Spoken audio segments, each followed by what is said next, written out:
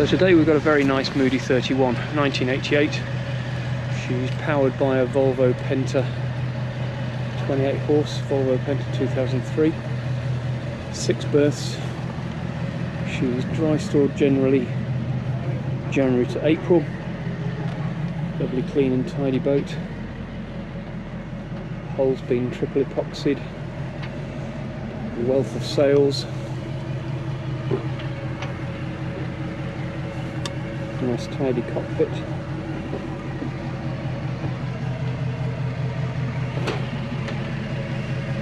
Lovely roomy cockpit. Sailing. Wind generator. And we'll see the interior very shortly.